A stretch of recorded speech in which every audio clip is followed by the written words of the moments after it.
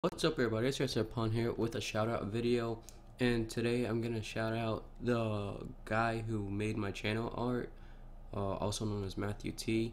I'm gonna leave his channel link in the description and if you go over to my channel, uh, you'll see him as one of the featured channels I have and there's a link on my uh, channel to his channel. So yeah. He's really good at um GFX, so yeah.